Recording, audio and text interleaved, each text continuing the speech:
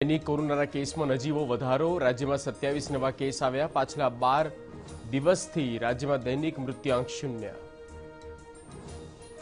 રૂપાણી સરકારના પાંચ વર્ષ પૂર્ણ થયાની ઉજવણી શરૂ, મહાત્મા મંદિરમાં સીએમ બોલ્યા, વિકાસનો વિરોધ કરનારા ગુજરાતના વિરોધી. કોંગ્રેસે સરકારની ઉજવણી પર ઉઠાવ્યા સવાલ, અમિત ચાવડાના આક્ષેપ પર રૂપાણીનો પલટવાર બોલ્યા, ચાવડા નફટ થઈને કરે છે નિવેદન. ગુજરાત ભાજપ સંગઠનમાં મોટો ફેરફાર રત્નાકરને નવા સંગઠન મહામંત્રી તરીકે સોંપાયો ચાર્જ, ભીખુભાઈ દલસાણિયાને સોંપાઈ શકે મહત્વનું પદ.